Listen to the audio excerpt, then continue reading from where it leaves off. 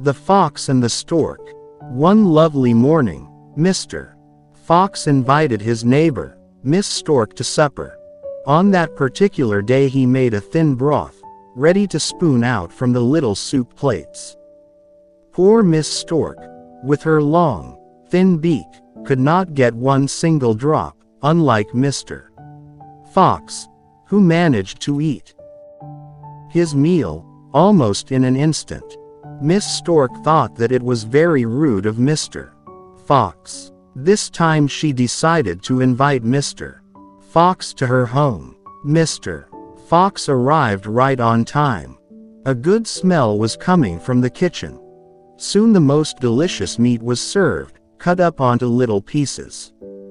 But instead of plates, Miss Stork served it in vases with long, narrow necks. Her beak went easily, but because Mr. Fox nose was much fatter, he could not reach the food. Shamefaced, he went back home with an empty stomach, ears drooping. He was thinking of the saying, Treat others as you would like them to treat you. Like, share, and subscribe. The end.